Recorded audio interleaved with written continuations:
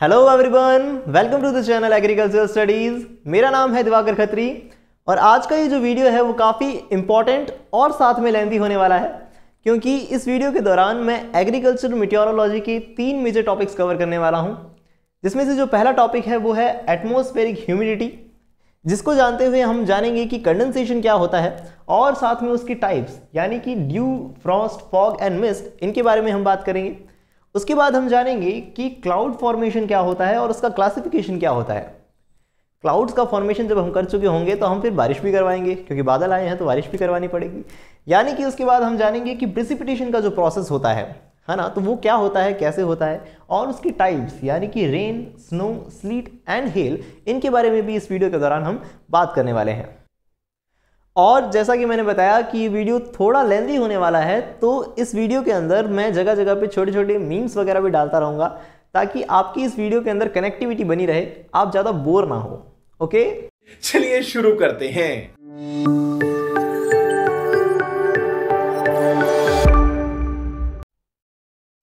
तो चलिए सबसे पहले हम बात करते हैं ह्यूमिडिटी के बारे में। ह्यूमिडिटी यानी कि नमी।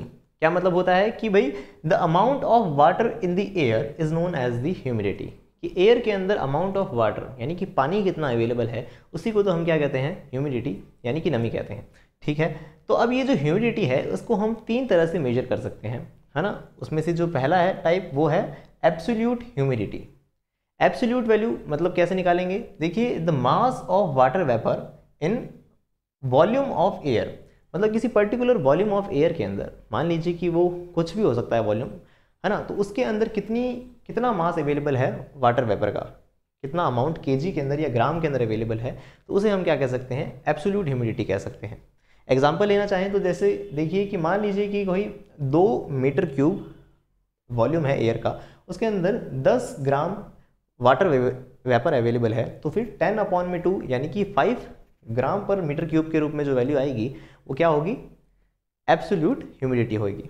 वहीं अगर हम बात करें स्पेसिफिक ह्यूमिडिटी की तो स्पेसिफिक वर्ड जब भी यूज़ किया जाए, तब समझ जाना कि उसके अंदर कुछ ना कुछ एक यूनिट यानी एक इकाई के रूप में लेने वाले हैं हम। क्या? जैसे कि इसमें देखो कि वन के जी मास ऑफ़ एयर एक के जी मास ऑफ़ एयर के अंदर कितनी वाटर वेपर अवेलेबल है? तो उसको हम क्या कहेंगे अब? स्पेसिफिक ह्यूमिडिटी कहेंगे, है ना? जैसे कि देख लीजिए वन के जी मास ऑफ़ एयर और mass of water vapour available तो ग्राम पर के के रूप में इसकी यूनिट कही जाती है। ओके तीसरी चीज़ देखिए, वो है रिलेटिव ह्यूमिडिटी रिलेटिव ह्यूमिडिटी मतलब किसी सिचुएशन से इसे हम रिलेट करने वाले हैं, है ना? तो और एक चीज़ ये भी ध्यान रखिएगा कि ये मोस्ट कॉमन मेज़रमेंट है। यही वास्तव में क्या मेज़रमेंट का सबसे कॉमन तरीका है, जिसको परसेंटेज के रूप में निकाला जाता है। क्या होती है रिलेटिव ह्यूमिडिटी किससे कंपेयर कर रहे हैं? किससे रिलेट कर रहे हैं हम इसे? तो water vapour required for saturation state saturation state मतलब एक हद तक, है ना? कोई भी एयर जो है, एक हद तक ही तो नमी को रख पाएगी, पानी को होल्ड कर पाएगी ना? तो उस हाईएस्ट स्टेट को हम कह सकते हैं सेचुरेशन स्टेट है ना? तो उस सेचुरेशन स्टेट के अंदर कितनी नमी आ सकती है? अपॉन में वाटर वेपर है कितनी किसी पर्टिकुलर एयर के अंदर? उन दोनों को अगर हम कंपेयर करते हैं रिलेट करते हैं तो जो रिलेटिव ह्यूमिडिटी आती है मतलब जो ह्यूमिडिटी आती है, उसे हम रिलेटिव ह्यूमिडिटी कहते हैं। ठीक है मल्टीप्लाइड बाय हंड्रेड है तो इसका मतलब ये जो डाटा है वो किसमें आता है? तो हम देखते हैं परसेंटेज के अंदर आता है ओके तो चलिए अब हम बात करते हैं कंडेंसेशन प्रोसेस के बारे में। कंडेंसेशन यानी संघनन, है ना? क्या होता है ये? Change of state of water मतलब वाटर का अपनी स्टेट को चेंज करना, कौन सी स्टेट से? तो देखते हैं हम वेपर से लिक्विड फॉर्म में, भाप से सीधा पानी में बदल जाना, इस कंडीशन को हम क्या कहते हैं? इस प्रोसेस को हम कह सकते हैं कंडेंसेशन प्रोसेस ओके अब देखिए, जैसा कि आप जानते हैं कि कोई भी सब्सटेंस जब अपनी स्टेट चेंज करता है, तब उस दौरान उसे एक हीट की ज़रूरत होती है, जिसे हम कहते हैं लेटेंट हीट हिंदी में जिसे कहते हैं गुप्त उष्मा है ना? तो इस प्रोसेस के अंदर क्या होता है? In this process latent heat is released और वो कितनी रिलीज़ होती है? तो 540 कैलोरी मतलब minus five four zero minus लगाने का पर्पज़ ये है कि यहाँ एनर्जी रिलीज़ होती है। है ना, कि भाई किसमें से किसमें बदलना है? तो वेपर से बदलना है लिक्विड में। तो कुछ एनर्जी रिलीज़ करनी पड़ेगी। कितनी एनर्जी 540 कैलोरी रिलीज़ करनी पड़ेगी। ठीक है? अब देखिए, ये तो हुआ भाप से पानी बदलना। अब अगर ये सोचिए, भाप अगर सीधा ही बर्फ़ में बदल जाए तो उस प्रोसेस को क्या कहेंगे? उस प्रोसेस को हम कहेंगे डिपोजिशन ठीक है? इस स्टेट के अंदर जो, इस प्रोसेस के अंदर जो एनर्जी रिलीज़ होएगी, उसे हम क्या कहेंगे? तो वो कितनी होती है? तो देखते हैं 620 कैलोरी होती है वो। ठीक है, याद रखेंगे हम डिपोजिशन प्रोसेस के अंदर कितनी एनर्जी रिलीज़ होती है? तो 620 कैलोरी रिलीज़ होती है ओके अब देखिए कंडेंसेशन न्यूक्लियाई के बारे में बात करते हैं। कंडेंसेशन न्यूक्लियाई क्या है? वास्तव में ये छोटे पार्टिकल्स हैं जिनके ऊपर कंडेंसेशन होने वाला है है ना? मतलब the particles on which the condensation occurs example salt gas gaseous molecule dust particles है ना? गैस मॉलिक्यूल डस्ट पार्टिकल इनके ऊपर जहाँ कंडेंसेशन का प्रोसेस होगा, तब इन पार्टिकल्स को हम क्या कहेंगे? कंडेंसेशन न्यूक्लियाई कहेंगे। ओके आगे होगी बात समझ में आपके। अब हम लास्ट पढ़ने वाले हैं कि फॉर्म्स ऑफ़ कंडेंसेशन कंडेंसेशन की कौन कौन सी फॉर्म्स होती हैं? जैसे कि dew fog frost and mist के बारे में। एक चीज़ और आप ध्यान रखेंगे कि स्मॉग क्या होता है? स्मॉग जो है, वो दो चीज़ों का मिक्सचर है। स्मोक और फॉग स्मोक वो वाला स्मोक की बात नहीं हो रही है। स्मोक मतलब जैसे कि किसी इंडस्ट्रियल एरिया में या कह सकते हैं कि ऐसी जगह जहाँ पॉल्यूशन बहुत ज़्यादा है। वहाँ जो स्मोक है, धुआँ है, वो जब फॉग के साथ मिल जाता है फॉग क्या होता है उसके बारे में हम आगे बढ़ने वाले हैं। जब फॉग के साथ वो मिल जाता है, तब जो कंडीशन क्रिएट होती है, उसे हम स्मॉग कहते हैं। ऐसा ही एक हेज़ भी होता है। हेज़ क्या है? स्मॉग की जैसा ही होता है, लेकिन उसमें पार्टिकल्स जो होते हैं, वो बहुत ज़्यादा छोटे होते हैं। ठीक है? तो ये अब आप, अब हम पढ़ेंगे कौन सी? और फॉर्म्स पढ़ेंगे कंडेंसेशन की। ओके तो चलिए अब हम कंडेंसेशन की सबसे पहली फॉर्म यानी कि ड्यू के बारे में बात कर लेते हैं। ड्यू माउंटेन ड्यू टर के आगे जीत है। तो उसके अंदर ड्यू क्या होता है? Condense condensed moisture in the form of liquid droplets condensed moisture मतलब क्या हुआ? कि मॉइस्चर जो होता है एनवायरनमेंट में, वो कंडेंस हो जाता है किसके फॉर्म में? लिक्विड फॉर्म में। वाटर की छोटी छोटी ड्रॉपलेट्स के फॉर्म में बदल जाएगा जब वो मॉइस्चर तब क्यों बनेगा? As a consequence of contact cooling मतलब किसी ठंडी चीज़ के कॉन्टैक्ट में आकर मॉइस्चर अब छोटी छोटी पानी की बूंद में बदल रहा है, तब इस फॉर्म को हम क्या कह रहे हैं? ड्यू कह रहे हैं। ओके अब देखिए, ऐसा कौन सी ठंडी कौन वो होगा ऑब्जेक्ट होगा? तो देखिए ऑन एनी वेजिटेटिव और हार्ड रैपिडली कूलिंग ऑब्जेक्ट मतलब या तो कोई वेजिटेटिव हो सकता है मतलब कोई पौधा हो गया, पौधे के ऊपर हम देख सकते हैं, इस तरह की छोटी बूंदें देखी जा सकती हैं। या हम कहें कि जैसे कोई खिड़की है, कांच की खिड़की है है ना? तो ऐसी जगहों पे ये जो मॉइस्चर है कांटेक्ट में आता है और जल्दी से वो किसमें बदल जाता है? कंडेंस होकर पानी की बूंद में बदल जाता है। तो इसे हम ड्यू कह सकते हैं। ओके नेक्स्ट पॉइंट को समझने से पहले हम जान लेते हैं कि ड्यू पॉइंट क्या होता है। ड्यू पॉइंट क्या होता है? ड्यू पॉइंट एक ऐसा पॉइंट है टेम्परेचर पॉइंट है, जिस पर हम देख सकते हैं कि मैक्सिमम कंडेंसेशन हो चुका है। ठीक है? सैचुरेटेड कंडीशन आ चुकी है। तो उस कंडीशन में मतलब कि जितनी वेपर बदल सकती थी मॉइस्चर में वो बदल चुकी है तो उस फॉर्म में। और वो जो लिक्विड है वापस वेपर में भी नहीं बदल रहा। तो है ना, इस कंडीशन जो क्रिएट हो जाती है, उस पॉइंट को, उस टेम्परेचर को हम ड्यू पॉइंट कह सकते हैं। इस कंडीशन पे क्या होता है? एब्सोल्यूट वेपर प्रेशर बराबर हो जाता है सैचुरेटेड वेपर प्रेशर के। अब ये क्या चीज़ है?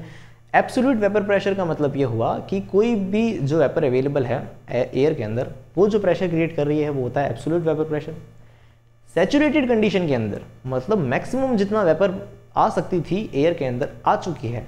उस कंडीशन के अंदर जो प्रेशर क्रिएट हो रहा है किसी भी ऑब्जेक्ट के ऊपर वेपर की वजह से, तब उसे हम क्या कह सकते हैं? सेचुरेटेड वेपर प्रेशर कह सकते हैं। हमने अभी जाना कि ड्यू पॉइंट ऐसा टेम्परेचर है जहाँ सेचुरेशन मैक्सिमम हो चुका है तो उस वजह से हम देखते हैं सेचुरेटेड वेपर प्रेशर बराबर हो जाता है यहाँ पे किसके? एब्सोलूट वेपर प्रेशर के। ओके अब देखिए स्टिल और calm air is favourable for dew मतलब जब शांत हवा होती है ना, जब हवाएँ ज़्यादा ज़ोर से नहीं चल रही होती तो उन कंडीशंस के अंदर क्या होता है? ड्यू बनता है। इसको ध्यान रखेंगे आप एमसीक्यू वगैरह के अंदर पूछ लेते हैं कि still and calm air is favourable for the dew okay next चीज़ देखिए, वो है फ्रॉस्ट फ्रॉस्ट मतलब पाला। राजस्थान में बोलते हैं ना, पालो पड़ गयो। तो पाला क्या होता है?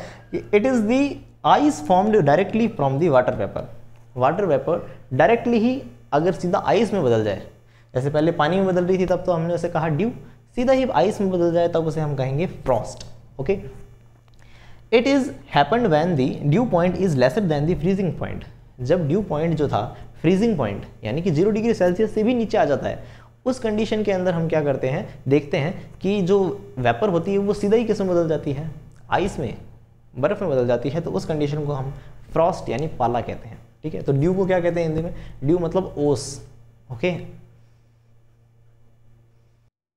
तो चलिए अब दो और कंडेंसेशन फॉर्म के बारे में बात कर लेते हैं, जिसमें से तीसरी है फॉग फॉग क्या होता है? कि स्मॉल ड्रॉपलेट्स ऑफ़ वाटर पानी की ऐसी छोटी बूंदें कंडेंस्ड एंड रिमेन सस्पेंडेड जो कंडेंस हो चुकी हैं और लटकी हुई हैं, है ना? सस्पेंडेड मतलब क्या है? हवा में ही सस्पेंड हुई हुई हैं in the air near the ground मतलब ग्राउंड ज़मीन के पास में जो एयर है, उसके अंदर पानी की बूंदें जो है, वो क्या है? कंडेंस होकर वहीं रुकी हुई हैं। तो which reduces the horizontal visibility जिसकी वजह से हॉरिजॉन्टली विजिबिलिटी कम हो जाती है। मान लो अगर यहाँ फॉग हो आपके और इस कैमरे के बीच में तो सॉरी मेरे और कैमरे के बीच में तो क्या होगा? आपको मैं साफ़ दिखाई नहीं दूँगा, है ना? विजिबिलिटी कम हो जाएगी। तो उसको हम क्या कह सकते हैं? फॉग कह सकते हैं।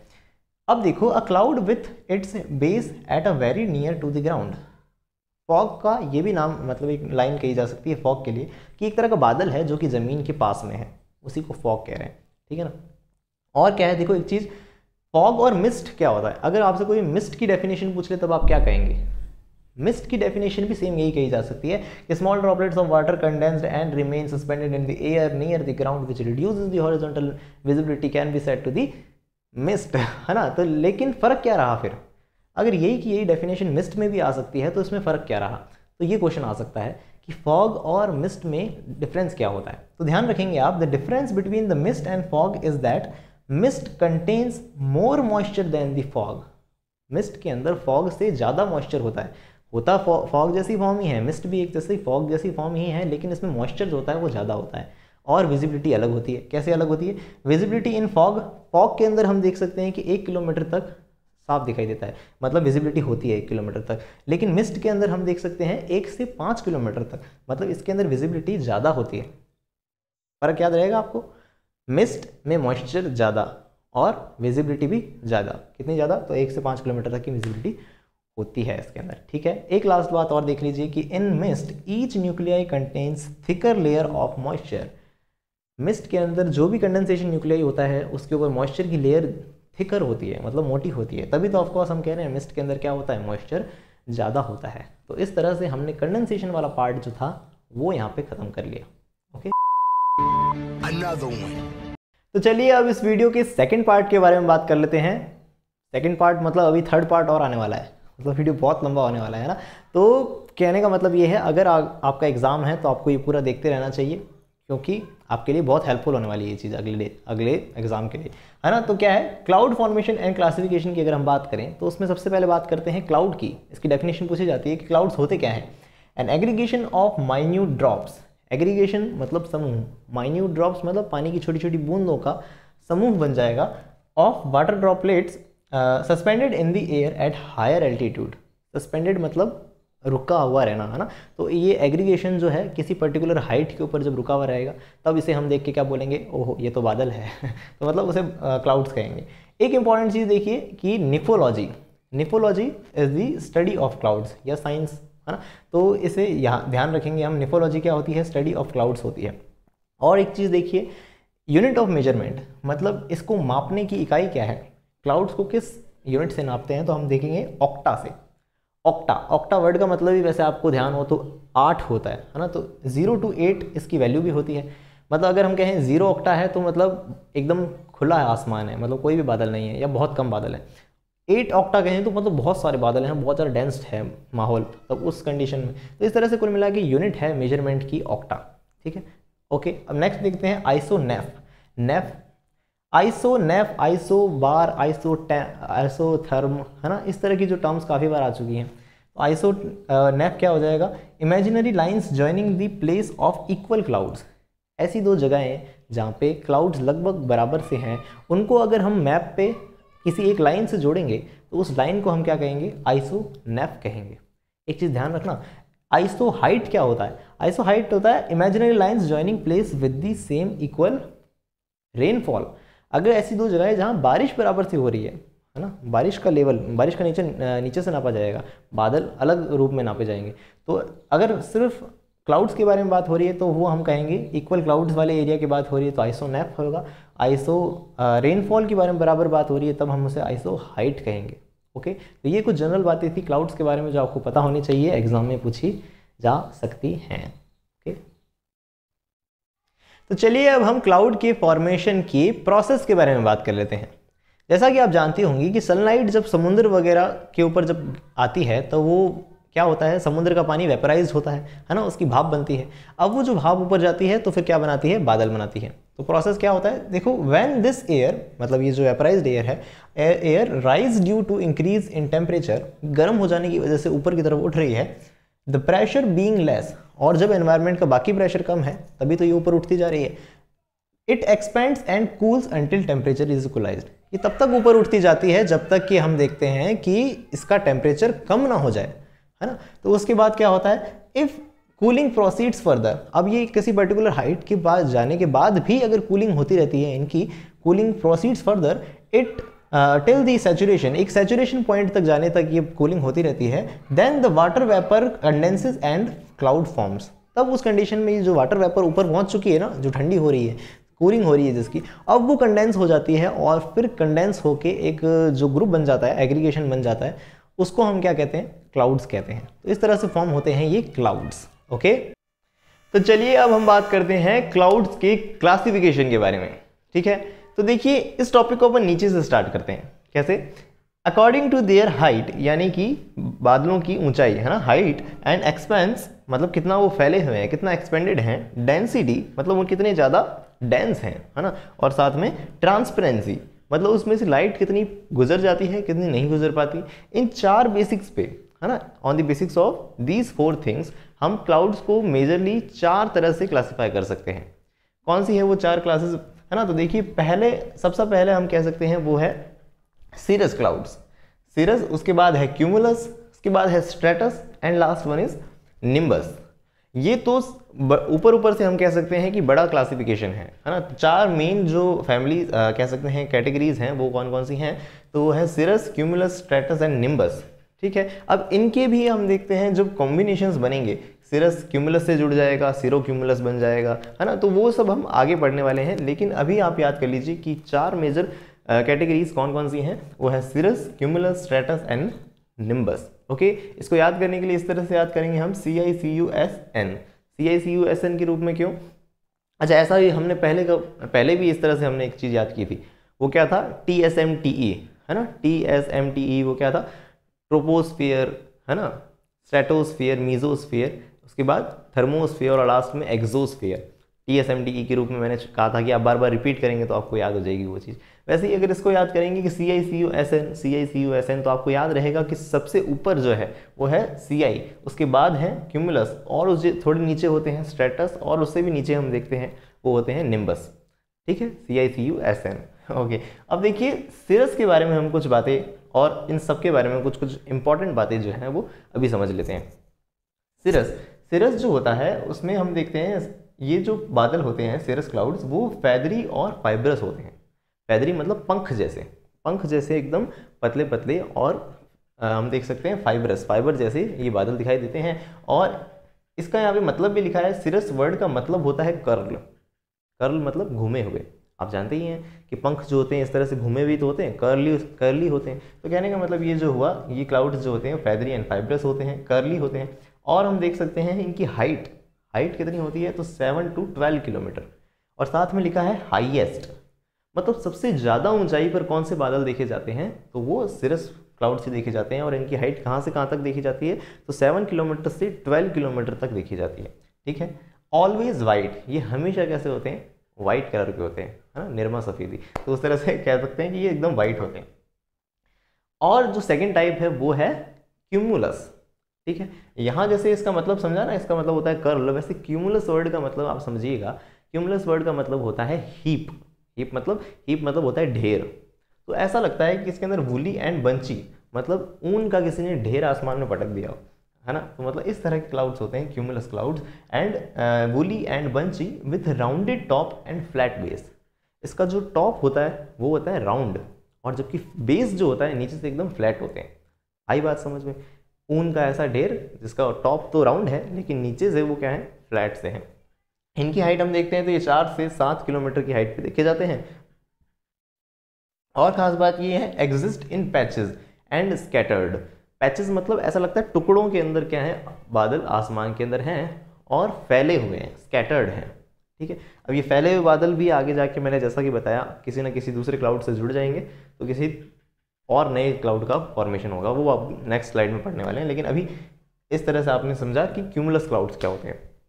अब देख लीजिए तीसरा टाइप वो है स्ट्रेटस स्ट्रेटस वर्ड का क्या मतलब होता है? स्ट्रेटस वर्ड का मतलब ही खुद से ये कहता है कि ऐसे क्लाउड्स जो स्ट्रेटिफाइड हैं।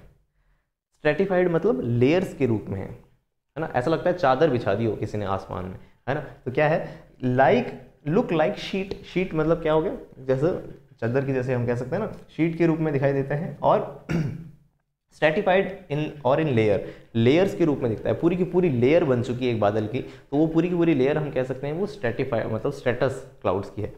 और ग्रे एंड लेस ट्रांसपेरेंट मतलब ये थोड़े से, जैसे हम कह रहे थे ना, ये तो एकदम वाइट थे, ये थोड़े कम वाइट और ये ग्रे होते हैं। लेस ट्रांसपेरेंट होते हैं, इसमें से लाइट जो है वो ज़्यादा गुजर नहीं पाती, गुजरती है, ज़्यादा नहीं गुजर पाती।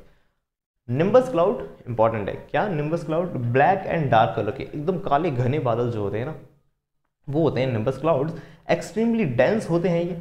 बहुत ज़्यादा डेंस होते हैं। ओपेक टू द रे मतलब इसमें से लाइट जो है वो बाहर नहीं आ पाती। है ना? जैसे कि अपन कभी कभी नहीं होता कि दिन के वक्त हमें ऐसा लगता है, अरे ये तो शाम हो गई। बारह बजे ऐसा लगता है कि जैसे शाम की छः बजे हो। ऐसा क्यों होता है? क्योंकि अचानक से जब काले बादल आ जाते हैं, काले बादल जब छा जाते हैं तो उसको अपन कह सकते हैं वो निम्बस क्लाउड्स होते हैं, जिसमें से सनलाइट पार नहीं हो पाती। या बहुत कम पार होती है। और हम देखते हैं नियरेस्ट टू ग्राउंड मतलब ज़मीन के सबसे पास में कौन से क्लाउड्स हैं? तो ये निम्बस क्लाउड्स हैं। तो इससे इस तरह से एक सीक्वेंस में याद करेंगे आप क्या? C I C U S N तो इस तरह से याद होगा कि cirrus cumulus, stratus and nimbus clouds okay तो चलिए अब हम क्लाउड्स के क्लासिफिकेशन के बारे में बात करते हैं। क्लाउड्स का जो क्लासिफिकेशन है, उसमें चार मेन कैटेगरीज आप अभी तक पढ़ चुके हैं। क्या है वो? सिरस क्यूमुलस स्ट्रेटस और निम्बस अब इन चार कैटेगरीज के कॉम्बिनेशन से जो सब कैटेगरीज बनेंगी, उनके बारे में हमें डिस्कशन करना है. तो पहले आप ये समझिए कि ये फैमिलीज़ के रूप में पढ़ने वाले हैं हम, है ना? इन चार क्लाउड से मिलकर अब कुछ फैमिलीज़ बनेगी. चार तरह की फैमिलीज़ बनेगी. कौन सी? ए बी सी और डी डी फैमिली जो है वो नेक्स्ट स्लाइड के अंदर पढ़ रहे हैं हम. अभी ए बी और सी के बारे में डिस्कशन करने वाले हैं. ए जो फैमिली है, वो है बड़े लोग, यानी सबसे जो हाईएस्ट क्लाउड्स हैं। मतलब हाई क्लाउड्स जो हैं, जो कि 6 किलोमीटर से 12 किलोमीटर की हाइट पे। मतलब कम से कम 6 किलोमीटर तक देखे जाएँगे और ऊपर हाईएस्ट इस कहाँ तक? 12 किलोमीटर तक देखे जाते हैं। तो ऐसे क्लाउड्स जो हैं, वो हाई क्लाउड्स की फैमिली है। बी क्लाउड्स कौन से हैं? जो मिडिल क्लास हम जैसे है ना? कि जो कि कह सकते हैं दो से छः किलोमीटर की रेंज में। कम से कम दो किलोमीटर और ज़्यादा से ज़्यादा छः किलोमीटर की हाइट पर देखे जाएँगे, वो बी क्लाउड्स की फैमिली है। और तीसरा आप समझ चुके होंगे कि सी क्लाउड्स कौन सी फैमिली कौन सी होगी जो लॉ क्लाउड्स होंगे, जो ज़्यादा नीचे हैं, धरती के सबसे ज़्यादा पास में जुड़े हुए हैं। तो कह सकते हैं हम कि दो किलोमीटर की हाइट तक ही जो क्लाउड्स देखे जाते हैं, वो कौन से होते हैं? तो हम देख सकते हैं वो सी यानी कि लो क्लाउड्स होते हैं। अब जो ए क्लाउड्स हैं, उसके अंदर कौन कौन से क्लाउड्स रखे गए हैं? तो सब देखते हैं हम कि पहले हैं सिरस क्लाउड्स सिरस के बारे में हम ऑलरेडी डिस्कशन कर चुके हैं तो उसके बारे में फिर से बात नहीं करेंगे, है ना? क्योंकि आप ऑलरेडी समझ चुके हैं उस चीज़ को। तो दूसरा देखिए सिरो क्यूमुलस सिरो क्यूमुलस मतलब सिरस जो हमने पहले पढ़े थे, अब वो कंबाइन हो जाएँगे किसके साथ? क्यूमुलस के साथ। सिरोस क्यूमुलस दोनों मिलके क्या बनाएँगे? सिरो क्यूमुलस अभी जो सिरो क्यूमुलस है, इसके अंदर हम सिरस के भी करेक्टरिस्टिक्स और क्यूमुलस के करेक्टरिस्टिक्स दोनों के मिले हुए करेक्टरिस्टिक्स देखेंगे। दोनों के मिले हुए गुण देखेंगे, है ना? तो मतलब देखो सिरो का मतलब तो क्या हुआ कि ये हाई एल्टीट्यूड पे होंगे। आपने पहले जाना था कि सीरस क्लाउड्स जो होते हैं, बहुत ज़्यादा हाइट पे होते हैं हाईएस्ट क्लाउड्स कहे जाते हैं। नाम के आगे क्यूमुलस भी जुड़ा हुआ है तो अब ये कौन से हाइट हाई हाईएस्ट तो हैं ही बट साथ में है करेक्टरिस्टिक कौन से रख रहे हैं? क्यूमुलस वाले। मतलब इनके अंदर हम देखते हैं कि वूल के ढेर जैसा बनते हुए दिखाई देंगे ना मतलब क्यूमुलस वाले कैरेक्टरिस्टिक्स देखे जाएँगे तो उसे हम कहेंगे सीरो क्यूमुलस एक चीज़ इसमें इंपॉर्टेंट टर्म दी जाती है कि लाइक रिप्ड सैंड ऐसा लगता है देखने में जैसे कि जो मिट्टी होती है ना, मिट्टी जैसे राइप कर दी जाए मतलब इस तरह से धार सी बन जाती है जो, उसको कह रहे हैं। तो वो वाली चीज़ बताई गई है कि लाइट रिप्ड सैंड देखने में ऐसा लगता है जैसे मिट्टी के ऊपर धार सी बन गई हो। ठीक है? आगे होगा सीरो क्यूमुलस समझ में। और करेक्टरिस्टिक्स लिखना चाहते हैं, आप पढ़ना चाहते हैं अच्छे से तो नीचे डिस्क्रिप्शन बॉक्स में पीडीएफ जो है, उसे आप ज़रूर पढ़िएगा। मैं आपको ओवरऑल व्यू दे रहा हूँ, ताकि आप उसे अच्छे से समझ सकें। तीसरी चीज़ है सिरो अभी जो सिरस क्लाउड्स हैं, उनको स्ट्रेटस के साथ कॉम्बिनेशन करवाना है है ना? ये ऊपर चार लिखे रहने का मकसद मेरा यही है कि ताकि आप इसको इससे रूप में मिलाना है तो याद रख सकें। अब सिरो किससे मिलने वाले हैं? स्ट्रेटस से कंबाइन होंगे। तो मतलब सिरस वाले करेक्टर भी होंगे इसमें स्ट्रेटस वाले भी होंगे। स्टेटस वाले मतलब स्टेटस मतलब एक पूरी की पूरी लेयर बन जाएगी, है ना? तो इसलिए लिखा हुआ है यहाँ पे कवर लार्ज एरिया मतलब ये वाले जो बादल होते हैं, एक तो पहली बात बहुत ज़्यादा हाइट पे होते हैं, क्योंकि ये सिरस है सिरो नाम में आ रहा है। और साथ में बहुत बड़ा एरिया कवर करते हैं। क्यों? क्योंकि हमने सीखा था ना कि जो लेयर के पूरी की पूरी लेयर बना लेते हैं, वो होते हैं स्टेटस तो दोनों का कॉम्बिनेशन क्या बन गया? सिरो स्टेटस बन गया। क्रिएट हेलो हेलो क्या होता है? हेलो देखो, ये चीज़ है कि सन जो होता है ना सूरज जो होता है, उसके आगे जब ये बादल आ जाते हैं, तब सन के चारों तरफ़ कुछ रिंग्स बनती हुई नज़र आती हैं। ठीक है? उस सिचुएशन को हेलो बोलते हैं। तो ये ऑब्जेक्टिव में क्वेश्चन पूछ सकते हैं कि ऐसे कौन से बादल हैं जो हेलो फॉर्म करते हैं? H A L O hello वो वाला हेलो नहीं H A L O hello है ठीक है तो मतलब ये कौन करते हैं? तो हम देखते हैं सिरो स्टेटस करते हैं। अब बात करते हैं बी फैमिली की। बी फैमिली के बारे में क्या है भाई? मिडिल फैमिली इसके लिए एक टर्म याद रखनी है हमें। कौन सी? एल्टो एल्टो वर्ड का मतलब होता है मिडल ठीक है? अब देखो एल्टो क्यूमुलस मतलब क्यूमुलस क्लाउड्स ही हैं, लेकिन एल्टो एल्टो मतलब किसी मिडिल हाइट पे हैं। ज़्यादा ऊपर नहीं है, ज़्यादा नीचे नहीं है। क्यूमुलस क्लाउड्स कहाँ हैं? एल्टो पे हैं। तो एल्टो क्यूमुलस कहेंगे हम उसे। करेक्टरिस्टिक्स कह सकते हैं कि ग्रे ब्लूइश होते हैं ग्लोबुलर होते हैं। ग्लोबुलर क्यों? क्योंकि क्यूमुलस है। क्यूमुलस क्या होते हैं? ग्लोबुलर ही तो होते हैं मतलब इकट्ठे हुए हुए भेड़ की ऊन जैसा सा कहते हैं ना। तो इसको हम कहते हैं, ये जब बादल देखे जाते हैं तो ये ऐसा लगता है कि शीप फ्लॉक है। मतलब ऐसा लगता है कि भेड़ों का झुंड जा रहा हो। ऐसा देखने वाले की इमेजिनेशन है तो उसके लिए एक टर्म दी जाती है तो आपको याद रखना है और दूसरा क्या हो सकता है? एल्टो स्टेटस एल्टो स्टेटस मतलब एल्टो मतलब बीच में स्टेटस मतलब स्टेटिफाइड बादल होंगे। ठीक है तो उन दोनों की कैरेक्टरिस्टिक्स अच्छे से आप नीचे पढ़ लीजिएगा। नाम से अगर आप एकदम पर्टिकुलर याद रखेंगे तो आपको कोई दिक्कत नहीं होगी इस पूरे क्लासिफिकेशन को लिखने में। आगे बात समझ में एल्टो स्टेटस क्या है? तीसरा देखो, वो है लो क्लाउड्स की फैमिली जो नीचे हैं। कौन से? सबसे पहले तो स्टेटस स्टेटस क्लाउड्स अपने आप में ही क्या होते हैं? नीचे होते हैं, है ना? जो नीचे देखे जाए तो उसे लो क्लाउड्स की कैटेगरी में रख रहे हैं हम। और ख़ास बात ध्यान रखनी है हमें कि ये स्टेटस की कैरेक्टरिस्टिक्स ऑलरेडी हम पढ़ के आ चुके हैं। चलो नेक्स्ट के बारे में बात करते हैं स्टेटो क्यूमुलस मतलब स्टेटिफाइड तो होंगे, लेकिन कौन से स्टेटिफाइड होंगे? क्यूमुलस क्लाउड्स क्यूमुलस क्लाउड्स की हमने बात की ना पैचेस के अंदर जो होते हैं, वो वाले क्लाउड्स जो होंगे, अगर बहुत ज़्यादा फैले हुए हैं, लंबा चौड़ा शीट जैसा स्ट्रक्चर सा बना रहे हैं तब उसे हम कहेंगे stratocumulus large globular mass sheet इस तरह से लिखा हुआ है। तो वर्ड टू वर्ड आप इसे समझ सकते हैं। तीसरा जो है वो है निम्बो स्टेटस निम्बस क्लाउड्स के बारे में आपने क्या समझा था? कि निम्बस क्लाउड्स जो होते हैं वो ग्रे कलर के होते हैं, बहुत ज़्यादा डार्क क्लाउड्स होते हैं। अब वो ग्रे कलर के डार्क क्लाउड अगर नीचे हैं, पहली बात तो निम्बस क्लाउड्स जो नीचे हैं और साथ में कैसे? स्टेटस हैं, पूरी की पूरी लेयर बना रहे हैं, है ना? आसमान में। तो उसे हम कहेंगे निम्बो स्टेटस क्लाउड्स ठीक है? Thick dark grey uniform layer uniform layer क्यों भाई? क्योंकि ये स्टेटस नाम आ रहा है इसके अंदर। गिव स्टडी प्रिसिपिटेशन और इससे लगातार स्टडी मतलब धीरे, धीमी सी लगातार बारिश जो होती है, इन क्लाउड्स की वजह से देखी जाती है। तो आपको ये तीन तरह के परिवार समझ आ गए मतलब फैमिलीज़ ए बी और सी कौन कौन से? हाई क्लाउड्स मिडिल क्लाउड्स और लो क्लाउड्स है ना? तो इस तरह से था ये ए बी सी तो चलिए अब फैमिली डी के बारे में बात कर लेते हैं। मतलब चौथी फैमिली कौन सी फैमिली है अच्छा अब ये जो फैमिली है ना, अभी तक तो हमने high clouds middle clouds low clouds देखे। अब हाइट के हिसाब से नहीं है। अब ये है formed due to vertical development अब मतलब इस तरह की जो डी फैमिली है, वो वर्टिकल डेवलपमेंट से बनने वाली है। मतलब बादल अब क्या होंगे? नीचे से इकट्ठे होते जाएँगे, इकट्ठे होते होते होते होते क्या हो जाएँगे? ऊपर ऊंचाई तक इकट्ठे होंगे, है ना? तो कहने का मतलब ये हुआ वर्टिकल डेवलपमेंट से बनने वाले हैं ये क्लाउड्स ठीक है, इसके अंदर दो क्लाउड्स रखे जाते हैं। एक तो वही है पहले वाला क्यूमुलस क्लाउड्स क्यूमुलस क्लाउड्स की कैरेक्टरिस्टिक्स भी वही हैं जो पहले पढ़े थे। कि इरेगुलर डॉम शेप्ड होता है look like cauliflower with wool pack and dark appearance है ना? थोड़े से डार्क कलर के होते हैं और देखने में कॉलीफ्लावर मतलब फूल गोभी जैसे दिखाई देते हैं। और क्या है? इरेगुलर डॉम शेप होता है। इरेगुलर सा डॉम बनता है। डॉम मतलब समझते हैं आप? गुंबद है ना? तो इरेगुलर सा गुंबद सा बनता हुआ नज़र सा दिखता है इसके अंदर। तो ये वाले क्लाउड्स जब इकट्ठे होने लग जाते हैं ना वर्टिकल मूवमेंट दिखाते हैं तो उसको हम फैमिली डी में रख सकते हैं।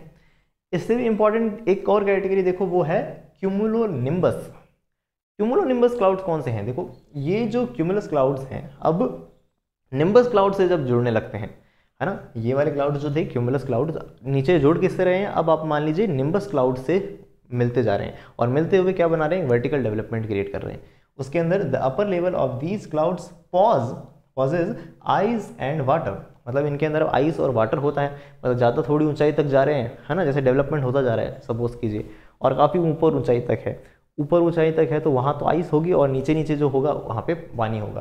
तो इससे ये सब बता रखा है। Have thunder head and develop vertically इसके अंदर क्या होता है? तूफ़ान जैसी कंडीशंस वगैरह होती हैं, वो इन्हीं क्लाउड्स की वजह से आती हैं। इसलिए हम कहते हैं produce violent winds thunderstorm hails etcetera आपको याद हो तो हमने एक जो वीडियो किया था साइक्लोन्स के ऊपर, उसके अंदर जो बादल थे वो वास्तव में कौन से थे? क्यूमुलो निम्बस क्लाउड्स ही थे। ये क्लाउड्स आपस में मिलते हैं और साइक्लोन्स वॉयलेट विंड्स वॉयलेंट मतलब बहुत ज़्यादा वॉयलेंट नहीं वॉयलेंट है ये। वॉयलेंट मतलब मान लीजिए बहुत ज़्यादा तबाही मचाने वाली विंड्स थंडर स्ट्रॉम हेल्स ना, ओले, ये सब बनाने वाले क्लाउड्स कौन से होते हैं? तो हम देखते हैं, ये होते हैं cumulonimbus clouds okay Another one. तो इस तरह से हमने इस वीडियो का सेकेंड पार्ट भी कंप्लीट कर लिया, है ना? तो मतलब अब अब तक हम एटमोस्फेरिक ह्यूमिडिटी और क्लाउड एंड क्लाउड क्लासिफिकेशन के बारे में पढ़ चुके हैं। तीसरा पार्ट और अब आपको सुनना है, उसके बाद ये वीडियो खत्म हो जाएगा, है ना? अच्छा आप जानते होंगे कि ये जो वेदर है, हमारा वेदर है, उसके अंदर छः मेन एलिमेंट्स होते हैं। उसमें से पहला एलिमेंट हम कहते हैं एटमोस्फेरिक प्रेशर होता है, फिर विंड्स हैं टेम्परेचर होता है, और ह्यूमिडिटी होती है क्लाउडीनेस होता है और लास्ट छठा एलिमेंट जो होता है, वो होता है प्रिसिपिटेशन ठीक है? और ये जो पहले पाँच जो एलिमेंट बोले हैं, उसके ऊपर मैं ऑलरेडी वीडियो बना चुका हूँ। अगर आपने वीडियो नहीं देखे हैं तो इसी प्लेलिस्ट के अंदर आप उसे देख सकते हैं। इस चैनल पे जो प्लेलिस्ट है एग्रीकल्चर मेटेरोलॉजी की, उसमें आप उसे देख सकते हैं। और अभी जो छठा एलिमेंट है प्रिसिपिटेशन उसके बारे में हम बात करेंगे। प्रिसिपिटेशन मतलब कुछ होता है नीचे आना। नीचे आना मतलब कैसे? जैसे आपने केमिस्ट्री के अंदर कभी सुना हो कि हम कहते हैं कि रिएक्शन जब होती है एक एलिमेंट की दूसरे एलिमेंट से तो कुछ ऐसा कंपाउंड बन जाता है जो नीचे बैठ जाता है है ना? तो उसको अपन बोलते हैं प्रिसिपिटेट तो मतलब प्रिसिपिटेशन प्रोसेस का मतलब भी क्या होता है कि कुछ नीचे आने वाला है है ना? गिरने वाला है। तो उसके अंदर क्या है? Precipitation is water in liquid और solid forms falling on the earth surface मतलब अब बादल जो बन चुके थे, उसमें से कुछ लिक्विड या सॉलिड की फॉर्म में नीचे आने वाला है। तो इस प्रोसेस को ही हम क्या कहेंगे? प्रेसिपिटेशन कहेंगे, है ना? अब इसके रिज़ल्ट क्या होगा? या तो बारिश होगी या फिर हम देखते हैं, और रेन हो गया स्नो हो गया हेल हो गया, और आगे जो टाइप्स हैं उसके, वो हम डिटेल में डिस्कस करने वाले ही हैं। लेकिन अभी आपको समझ आ गया होगा कि प्रेसिपिटेशन क्या होता है। अब देखिए प्रेसिपिटेशन का जो प्रोसेस है, उसे एक बर्जरन थ्योरी के नाम से जाना जाता है। मतलब एक साइंटिस्ट हैं, उसके उसकी थ्योरी है ये। इसको दो पार्ट्स में डिवाइड कर दिया जाता है। कहा जाता है कि इसमें मेन दो पार्ट्स कौन से होते हैं तो हम देखते हैं फॉर्मेशन ऑफ़ आइस क्रिस्टल और दूसरा पार्ट होता है एक्रिएशन एक्रिएशन मतलब होता है ग्रोथ बड़ा होना। एक्रिएशन है ना? एक्रिएशन तो अब इस प्रोसेस के दो पार्ट हैं, उसको पहले डिटेल में देख लेते हैं कौन कौन से स्टेप्स हैं, जिसकी वजह से प्रिसिपिटेशन होता है। ठीक है? तो सबसे पहली चीज़ देखिए, वो है वेपराइजेशन वेपराइजेशन मतलब क्या है? पानी वेपराइज होता है समुद्र के ऊपर, उसके बाद वो ऊपर जाता है तो कंडेंस होता है तो उसका कंडेंसेशन होता है। उसके बाद हम देखते हैं इक्विलिब्रियम ऑफ़ लिक्विड वाटर अब वो कंडेंसेशन किसी एक हद तक ही तो होगा। एटमोसफेयर जितना पानी ले सकता है, उतना ले पाता है। तो वहाँ इक्विलिब्रियम मतलब साम्यावस्था स्थापित हो जाती है कि वाटर मॉलिक्यूल किसमें बदल रहे हैं? सॉरी भाप के जो मॉलिक्यूल हैं, वो बदल रहे हैं किसके अंदर? वाटर मॉलिक्यूल्स में। और वाटर मॉलिक्यूल वापस बदल रहे हैं भाप में। तो एक इक्विलिब्रियम सेट हो जाता है वहाँ पे। उसके बाद फॉर्मेशन ऑफ़ आइस क्रिस्टल होता है। इतनी ऊंचाई पे जा चुके हैं, ठंडक बहुत ज़्यादा होगी तो उससे वहाँ पे क्या होंगे? आइस के क्रिस्टल्स बनेंगे। अब ये जो आइस के क्रिस्टल्स हैं, इसके ऊपर जो बची हुई वेपर है, वो डिपॉजिट होगी। तो मतलब vapour deposition of ice crystal vapour का डिपोजिशन अभी इस वीडियो के स्टार्टिंग में हमने जाना था कि वेपर सीधा ही अब किसमें बदल जाएगी? आइस के अंदर फॉर्म में बदलेगी। तो ये जो मॉलिक्यूल होगा या आइस का क्रिस्टल होगा, वो बड़ा होने लगेगा। मतलब उसकी ग्रोथ होने लगेगी। ग्रोथ ऑफ़ आइस क्रिस्टल होगा। मतलब एक्रीशन होगा इसका। और एट लास्ट सेवन्थ हम देखते हैं कि इतना बड़ा हो जाएगा कि हवा उसको सह नहीं पाएगी। है ना? हवा एक हद तक ही तो लटका के रख पाएगी उसको। इतना भारी हो गया तो वो नीचे आ जाएगा। तो वो नीचे आने लगेगा तो फिर वो मेल्ट होगा। पिघलेगा। पिघलते हुए फिर वो पानी की बूंद बन जाएगा वापस और अल्टीमेटली बारिश होगी। तो समझ आया? प्रिसिपिटेशन का इस तरह से प्रोसेस होता है। इस थ्योरी के अलावा एक कोलेजन थ्योरी भी कही जाती है, या कोलेसेंस थ्योरी कही जाती है। कोलेसेंस थ्योरी के अंदर ये कहा जाता है कि जैसे यहाँ आइस क्रिस्टल्स मिलके बड़ा बना रहे हैं ना, उसको ग्रोथ बना रहे हैं तो वहाँ ये कहा जाता है कि दो या छोटे छोटे मॉलिक्यूल मिल जाते हैं। कोलेसेंस हो जाता है उनका और वो एक बड़ा मॉलिक्यूल बन जाता है मतलब बड़ा आइस क्रिस्टल बन जाता है। तो वो भी एक थ्योरी होती है, लेकिन इस एक थ्योरी के थ्रू थ्रू मैंने समझाने की कोशिश की है किसको? प्रेसिपिटेशन के प्रोसेस को ओके अच्छा एक चीज़ और बताना रह गई, वो क्या है? कि देखिए फॉग ड्यू और जो फ्रॉस्ट हमने पढ़े थे फॉग ड्यू और फ्रॉस्ट वो प्रिसिपिटेशन के अंदर काउंट नहीं होते, क्योंकि उसमें कुछ नीचे नहीं आ रहा। उसके अंदर तो हम देख रहे हैं कि एटमोसफेयर की ह्यूमिडिटी ही कंडेंस होकर क्या हो रही है? पानी वगैरह के अंदर बदल रही है, पानी या बर्फ़ में बदल रही है। तो वो प्रिसिपिटेशन का हिस्सा नहीं है, इस चीज़ को और ध्यान रखेंगे आप ओके तो अब हम प्रेसिपिटेशन की कुछ फॉर्म्स के बारे में बात करने वाले हैं कि किस अलग अलग रूप में देखा जा सकता है प्रेसिपिटेशन देखिए मेजर दो तरह से हम इसको डिवाइड कर सकते हैं। एक है लिक्विड प्रेसिपिटेशन प्री लिख रखा है मतलब प्रेसिपिटेशन ही है शॉर्ट में लिखा हुआ है। और दूसरा है सॉलिड प्रेसिपिटेशन भाई प्रेसिपिटेशन अगर पानी के रूप में या लिक्विड फॉर्म में हो रहा है, तब उसे हम कहते हैं क्या? लिक्विड प्रेसिपिटेशन और सॉलिड की फॉर्म में या आइस की फॉर्म में हो रहा है, तब उसे हम क्या कह देते हैं? सॉलिड प्रेसिपिटेशन कह देते हैं। लिक्विड प्रिसिपिटेशन के अंदर दो चीज़ें आती हैं, एक ड्रिजल और एक आता है रेन। ड्रिजल तब कहते हैं हम उसे जब जो बूंदे आ रही हैं, उसका साइज़ 0.5 मिलीमीटर से कम होता है। कितने से कम? 0.5 मतलब आधा मिलीमीटर से भी कम साइज़ की अगर छोटी छोटी बूंदें आ रही हैं तो उसे उस कंडीशन में, उस रेन को ही हम क्या कहेंगे? ड्रिजल कहेंगे। ठीक है? रेन कब कहेंगे उसे फिर हम? बारिश कब पर्टिकुलर कब कहा जाना चाहिए उसे, तब कहा जाना चाहिए जब 0.5 मिलीमीटर से ज़्यादा साइज़ है उन बूंदों का। ठीक है? या एमसीक्यू के अंदर पूछे जाते हैं तो ध्यान रखिएगा इस साइज़ को आप। दूसरा, आपने कहा जैसे सॉलिड प्रेसिपिटेशन तो सॉलिड की फॉर्म में वो स्नो हो सकता है स्लीट हो सकता है और हेल हो सकता है। इसके बारे में नेक्स्ट स्लाइड के अंदर अच्छे से बात करने वाले हैं हम। और अभी देख लीजिए कुछ और इंपॉर्टेंट टर्म्स क्या हैं वो। रेनफॉल मेज़रमेंट बारिश जो हो रही है, उसको मेजर किस यूनिट किस डिवाइस से कर सकते हैं हम तो वो है रेन गॉज रेन गॉज एक तरह का क्या होता है कि एक, देख सकते हैं, इसको मीटर रीडिंग्स वगैरह लिखी हुई होती हैं तो पता चल जाता है कि कितनी बारिश हुई है एक दिन में, है ना? तो रेन गॉज को ध्यान रखेंगे आप मेज़रमेंट का टूल है. रेनिंग डे किस दिन को हम रेनी डे कहेंगे? रेनी डे तब कहेंगे जब पॉइंट पाँच मिलीमीटर से ज़्यादा बारिश हो रही है किसी दिन. अगर किसी दिन पॉइंट पाँच से मिलीमीटर से ज़्यादा बारिश हो रही है पॉइंट पाँच नहीं, दो पॉइंट पाँच सॉरी ढाई मिलीमीटर से ज़्यादा अगर बारिश हो रही है, तब उसे हम क्या कहेंगे? रेनी डे कहेंगे। और इफ़ेक्टिव रेनफॉल के बारे में डेफिनेशन पूछी जाती है। क्या होती है इफ़ेक्टिव रेनफॉल तो देखिए टोटल रेनफॉल कितना हुआ है और पौधों से इवेपो ट्रांसपायरेशन कितना हुआ है मतलब वाष्पोत्सर्जन कितना हुआ है है ना? उन दोनों का जो डिफरेंस होता है total rainfall minus actual evapotranspiration आगे बात समझ में? इन दोनों का जो डिफरेंस है, उसे हम इफ़ेक्टिव रेनफॉल कहते हैं। It is the difference between the total rainfall and actual evapotranspiration.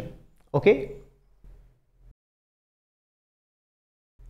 तो चलिए अब हम प्रिसिपिटेशन की तीन और फॉर्म्स के बारे में बात कर लेते हैं, यानी कि स्नो स्लीट एंड हेल ये क्या होते हैं इनके बारे में? है ना? ये तीनों ही क्या है? सॉलिड प्रिसिपिटेशन की फॉर्म्स हैं। मतलब कि अब जो प्रिसिपिटेशन होने वाला है, वो आइस की फॉर्म में होने वाला है। है ना? इसमें भी बर्फ़ गिरेगी, इसमें भी गिरेगी, इसमें भी गिरेगी। तो फ़र्क क्या होगा? आपको समझिए। कैसे?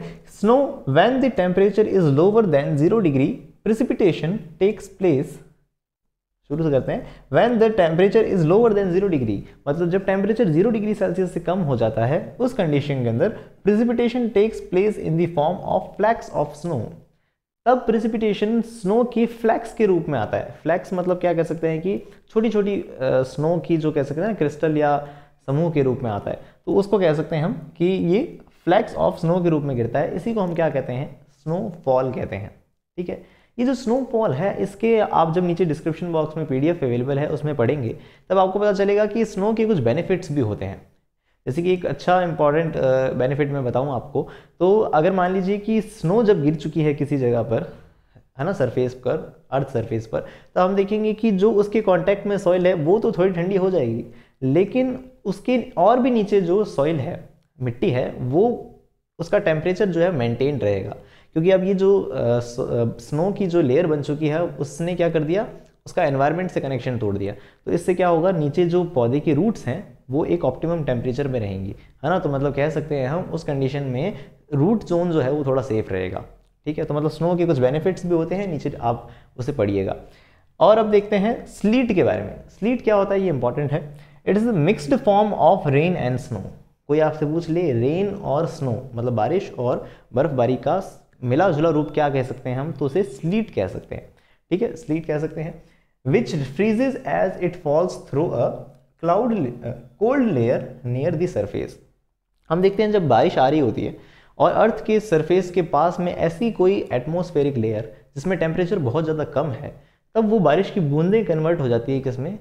बर्फ़ में। तब उस कंडीशन को हम कह सकते हैं स्लीट कह सकते हैं। ठीक है? आगे बात समझ में और एक चीज़ ध्यान रखिएगा कि ये जो स्लीट होती है, उसे हम क्या कहते हैं? उसे हम कहते हैं फ्रोज़न रेन ठीक है? फ्रोज़न रेन नाम की टर्म किसके लिए यूज़ की जाती है? तो स्लीट के लिए यूज़ की जाती है। हेल्स हेल्स के बारे में आप ऑलरेडी जानते हैं। हेल्स मतलब ओले।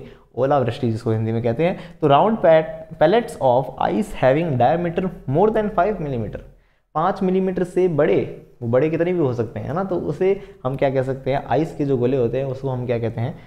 हेल्स यानी ओले कह सकते हैं, और formed due to high compaction of snow ये स्नो जो आ रही थी और ज़्यादा कॉम्पैक्ट होके जब आ रही है है ना? तब उसे हम क्या कह रहे हैं? हेल्स कह रहे हैं। तो आपको समझ आया होगा कि ये स्नो स्लीट हेल्स कैसे बन रहे हैं? मतलब अलग अलग तरह का कंडीशंस के अंदर स्नो जो है वो कितना कॉम्पैक्ट हो रही है, कितना कंडेंस होके आ रही है। तो उस वजह से हम देखते हैं अलग अलग तरह का फॉर्मेशन देख रहे हैं प्रेसिपिटेशन देख रहे हैं। तो इसे हम क्या कह रहे हैं? स्नो स्लीट और हेल एक चीज़ और लिखी हुई है कि क्यूमुलो क्लाउड्स जो होते हैं जो हमने अभी डी फैमिली के अंदर पढ़े थे, वो फ्लाउड्स क्लाउड्स जो होते हैं, वो इस तरह के हेल्स क्रिएट करते हैं।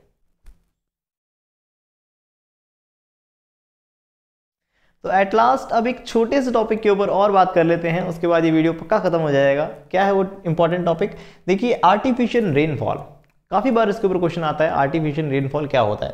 तो देखिए आर्टिफिशियल रेनफॉल एक तरह की प्रैक्टिस है। तो मतलब प्रैक्टिस ऑफ़ आर्टिफिशियली इंड्यूसिंग और इंक्रीजिंग इंड्यूसिंग और इंक्रीजिंग मतलब बढ़ावा देना। आर्टिफिशियली बढ़ावा देते हैं हम। किसको बढ़ावा देते हैं? तो देखिए precipitation through clouds by adding external agent अब जो हमने इतने देर से जो प्रेसिपिटेशन पढ़ा, है ना, बारिश पड़ी अल्टीमेटली रेनफॉल पड़ा तो उसको बढ़ावा देने के लिए हम एक्सटर्नल जब एजेंट्स का इस्तेमाल करते हैं, है ना तो उस प्रोसेस को हम क्या कहते हैं? आर्टिफिशियल रेनफॉल कहते हैं। ठीक, कृत्रिम वर्षा, जिसको हिंदी में कह सकते हैं। तो उसके बारे में बात चल रही है। The rainfall the foreign particles can be dry ice ये जो फॉरेन पार्टिकल्स आपने डाले हैं, है ना? एक्सटर्नल एजेंट आपने जो डाला है, वो क्या हो सकता है? ड्राई आइस हो सकता है मतलब सूखी बर्फ़ हो सकती है। मतलब जिसको हम कह सकते हैं C two solid C carbon dioxide का सॉलिड फॉर्म उसे डाला जा सकता है या सिल्वर आयोडाइड ए ये इंपॉर्टेंट है, ध्यान रखेंगे आप इसे। सिल्वर आयोडाइड जो होता है, उसे डाला जाता है और सॉल्ट पाउडर एक्सेट्रा इन चीज़ों को डाला जाता है। This process is known as cloud seeding और इस प्रोसेस को क्या कहते हैं हम? क्लाउड सीडिंग कहते हैं। आर्टिफिशियल रेनफॉल की डेफिनेशन समझ आ गई आपको। इस तरह से एक्सटर्नल एजेंट्स जो हम बरसा रहे हैं बादलों पर तो उसे हम कहते हैं क्लाउड सीडिंग ओके एक चीज़ और देख लीजिए this is done by the aeroplane and rocket अब नीचे से फुहारे तो मारेंगे नहीं हम, है ना? तो फिर क्या करेंगे? एरोप्लेन से ऊपर से क्या की जाती है? बरसात की जाती है इनके ऊपर मतलब बरसाए जाते हैं ये। तो एरोप्लेन या रॉकेट्स के हेल्प से आर्टिफिशियल रेनफॉल किया जाता है। तो इस तरह से हमने एक और इंपॉर्टेंट टॉपिक कवर कर लिया, क्या? Artificial rainfall